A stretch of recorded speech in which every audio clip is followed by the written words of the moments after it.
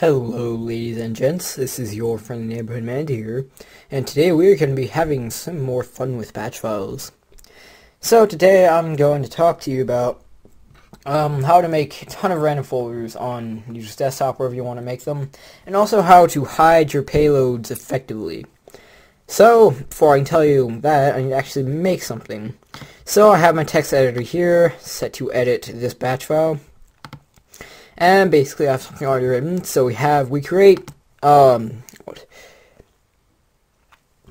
A loop right here, what is it? Label, that's right. So we create a label called loop right here, and we make a directory in our C drive. So C slash random random random. Now random is a variable that just generates a random number. And you want to have a lot of these randoms because eventually you're going to run out of random numbers if you have just one.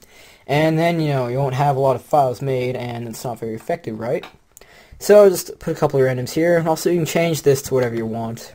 I always have C because don't feel like typing something out really long. And then finally we go back to this loop. Now I could couple this with um, System Crasher and just open up a ton of this, ton of these files.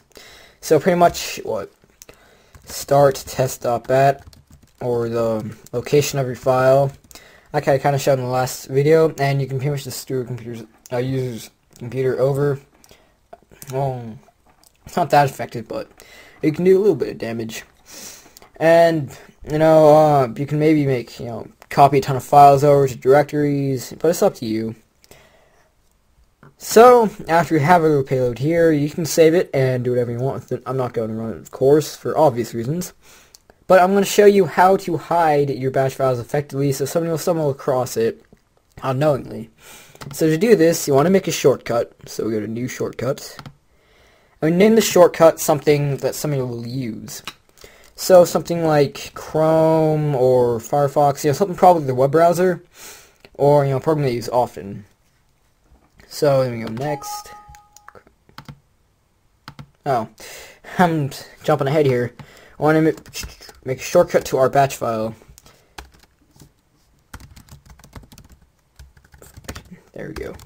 Not, no. I can't type today. Jesus Christ. Okay, there we go. And then here's our naming portion that I talked about earlier. So this name is something somebody will use. So I'll name on Chrome, even though I have Chrome installed. Okay, so now we have our little shortcut here. Now we have this icon here, and somebody's like, wait, that's not the Chrome icon. So you can change that by going to Properties and change icon, and you may have this here. Uh, just hit OK and continue. And now select the appropriate icon from this list.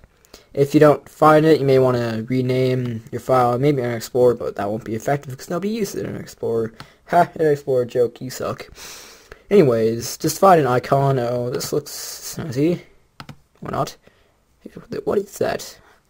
When has that ever been used in Windows history? I don't know, I need to look it up later.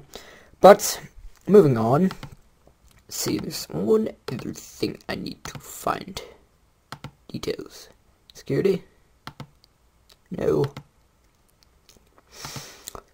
Basically, I'm trying to find, there's this huge list of tabs here. It's not it. Compatibility. Come on. Where are you?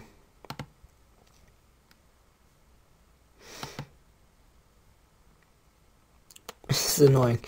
Basically, what I'm trying to find is there is what you can set. You can set something so this opens up in full screen. See compatibility? No.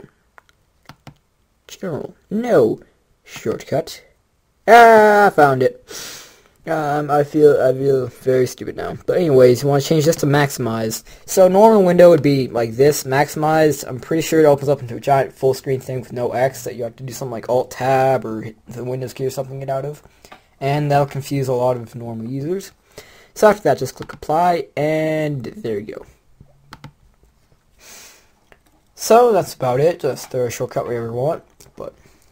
Uh, thank you guys for watching. I will see you next time. Have fun.